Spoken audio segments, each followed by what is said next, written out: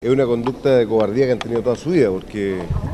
estos mismos criminales que en el pasado actuaron cobardemente, asesinando a gente indefensa en la mayoría de los casos, que no tenía mecanismo ni forma de defenderse, a quienes degollaban, a quienes fusilaban, a quienes le aplicaban la ley de fuga,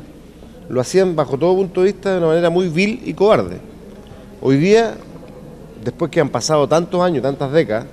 cuando ellos creyeron cuando cometieron estos actos que iban a tener impunidad siempre y se dan cuenta que en este país, independiente de todo, se está dando la justicia, vuelven a actuar cobardemente al no aceptar, ¿no es cierto?, que la justicia ha dictado veredicto respecto a sus actuaciones. Por lo tanto, no me queda más decir de que en este caso, como en muchos otros que ustedes no conocen, cuando se inician las investigaciones o cuando hay condena,